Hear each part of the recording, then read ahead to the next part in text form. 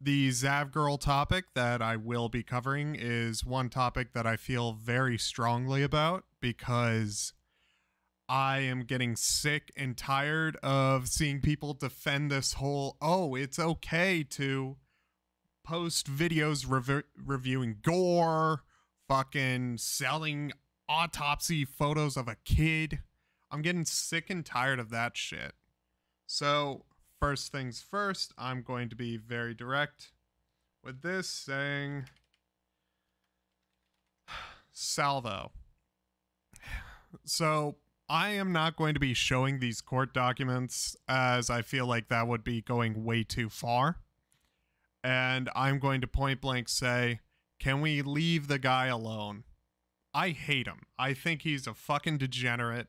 I think the worst of him, but I do not believe that we should be digging into his goddamn court documents. Yes, I did verify they are legitimate court documents, and I'm not okay with this. I'm not okay with the fucking constant doxing campaigns of anyone.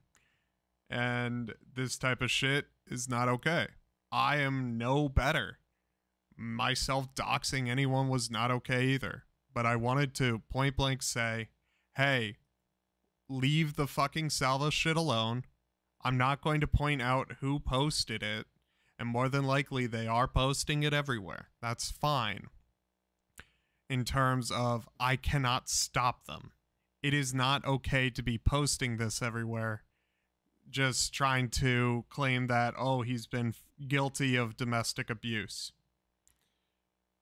You want to know something? I read through everything, I looked through it all the case was closed and it was dropped to not domestic abuse. It was not brought to domestic abuse at all.